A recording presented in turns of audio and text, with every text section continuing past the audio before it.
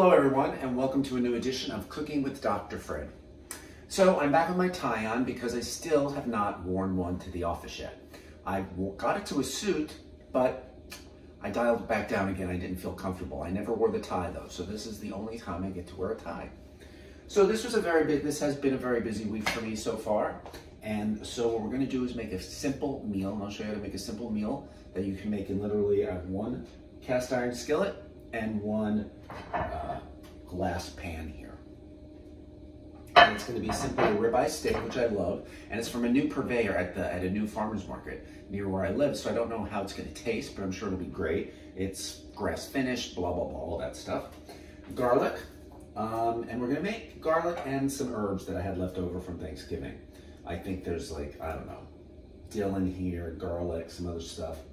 And we're gonna make it very cowboy style or sort of Southern Italian style, it's the same thing, where we're gonna cook the steak on top of the stove. Um, I'm gonna put a little bit of butter, which I put in the back of the refrigerator, I'm gonna take that back out.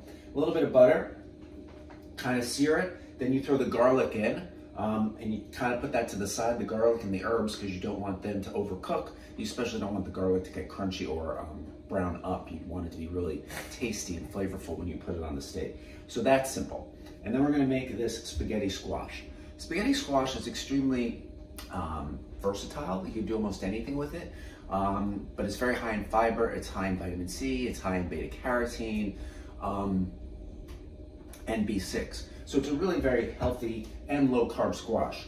And I'm gonna make it one way tonight, and then I'm gonna save the rest for tomorrow night and make it a completely different way. You can make it in an Italian version, which I'm gonna do tonight. You can make it in a Mexican version, which I'm gonna do tomorrow. Um, and you can literally add anything you want to spaghetti squash. You can, we're gonna cook it now. Um, let me get a big knife. Wow, that wasn't fun. I'm glad that was not on camera.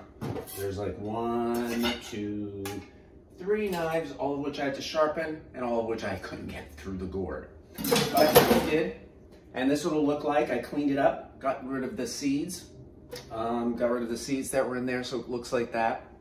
So you basically grease either a baking sheet or um, I'm using this glass um, Pyrex dish. And then you grease it up. I used butter because I had lots of leftover butter from Thanksgiving. You could use olive oil spray that you put in a little spray bottle. You could use macadamia nut oil that you put in a little spray bottle, just so it keeps it greasy. You just turn it face side down, like that and you stick it in a preheated oven, 350 degrees for 30 minutes.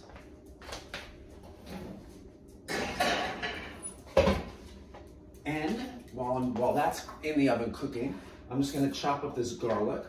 Um, you know how to chop your garlic. I've showed you how to do that before. I do it in a very specific way.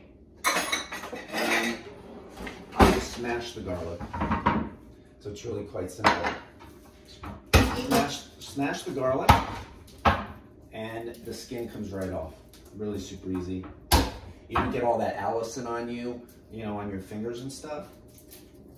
Um, and I mean, the Allicin's good. I mean, the Allicin is good for blood pressure, you know, aids in blood pressure, does all sorts of nice things. But anyway, smells delicious. We're gonna use that for the, gonna use that for the steak. So there's really nothing else to see while that is cooking because the steak's gonna take probably, this isn't a very thick steak and I like it medium rare.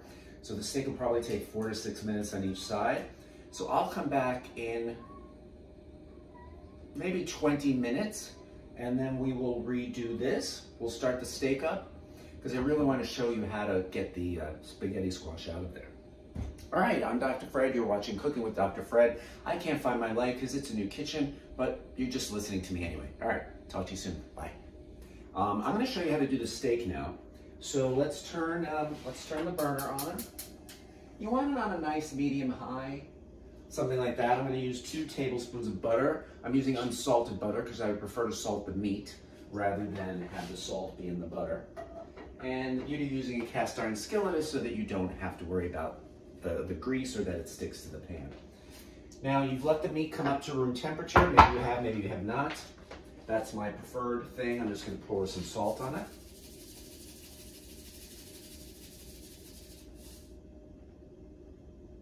I'm just to pour some salt on it.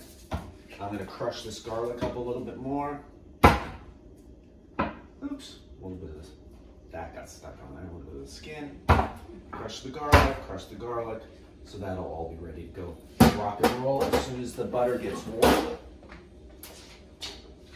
So you simply put the butter around, probably two tablespoons of butter is too much, but I'd rather have more. You can always throw the rest away. I, I save all my grease in a container so that it doesn't get clogged into the sewer system, or you can always use a good scoop of that if you really want, I don't know, to fry something up that's really tasty and delicious. You could always do that.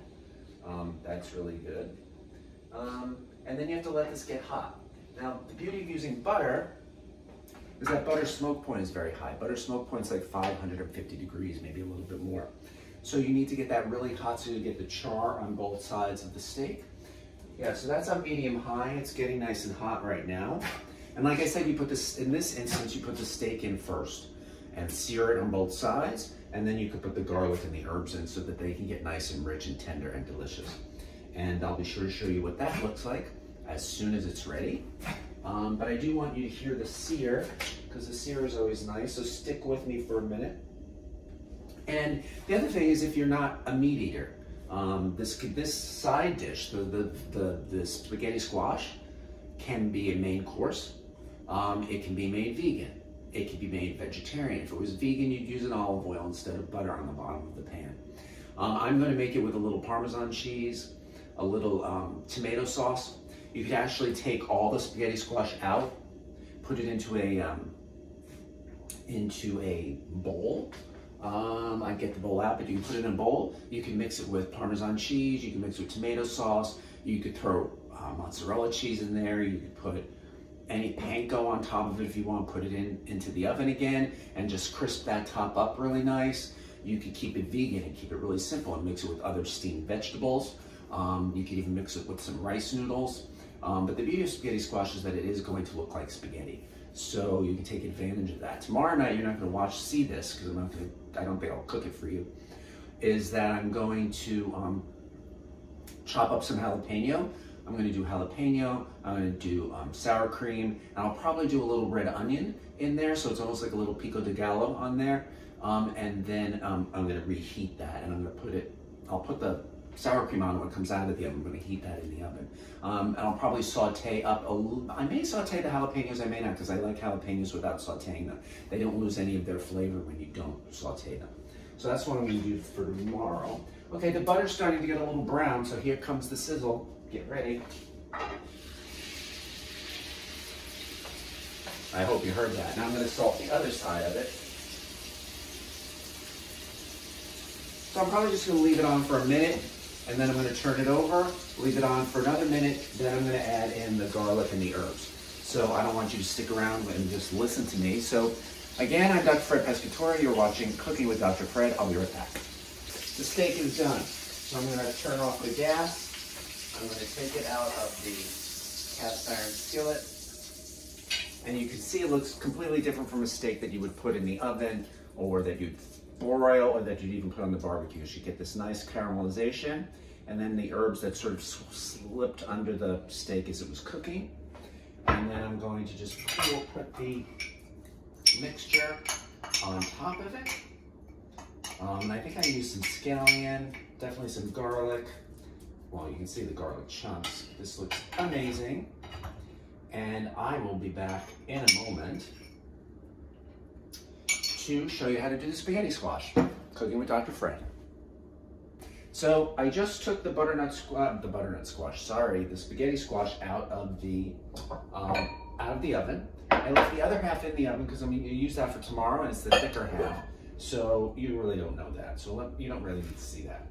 So it's a little hot, but that's okay. So you make spaghetti squash. Yes, you can see me, which is good. And you just take it like that. And it becomes spaghetti-like. I don't know if you can see that, but that's spaghetti-like. And so it basically does the job itself. It's a little hot, that's okay. And, and so it's really simple. I hope you can see this. Um, see if I lift it up. Ugh. Lift up. See, it gets nice and stringy.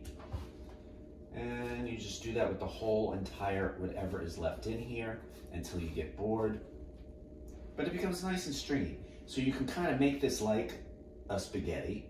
And I'm gonna make it Italian style, like I said. So I'm going to put some Parmesan in it. Um, I'm gonna turn it around because it's really hot, which is nice on a cool evening. And that's it. That's that's as simple as I mean, how much simpler can cooking get? Simple little spaghetti squash business. Uh, there we go. I'd probably scoop out more, but it's kind of hot. And then you can put whatever your heart desires in here. Because like pasta, like most noodles, like anything of its sort, rice, it will take on, oops, yikes, it's hot. It will take on the flavor that you put in there. So do whatever you want. I'm just gonna put a little cheese, a little Parmesan cheese that I have here. And I'm, actually, you don't need to see that. I really just wanted you to see this. I'm just gonna put in a little Parmesan cheese. I'm gonna mix it all up nicely and you get the point. And whatever you wanna put in here, like I said, tonight's gonna be Italian style, tomorrow night's gonna be, uh, tomorrow night's gonna be a little bit of Mexican, a little bit of that. So that's really what comes out to you. Literally use the whole thing. I didn't use the whole thing tonight. It's pretty close. Close enough. Where's my Parmesan cheese that I'm gonna get? Just gonna pour some Parmesan cheese in here and you get the point.